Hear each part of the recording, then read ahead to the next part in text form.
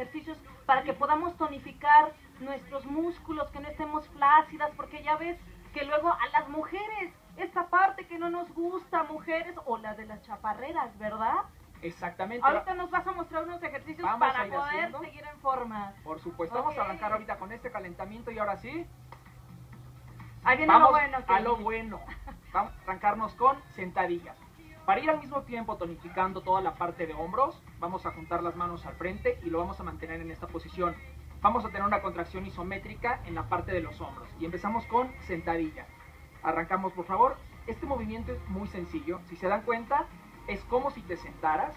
Y la parte fundamental es que, que todas las articulaciones o todo el segmento como tal se mantenga de forma recta para evitar una lesión potencial a mediano o largo plazo. Claro, porque yo he visto que muchas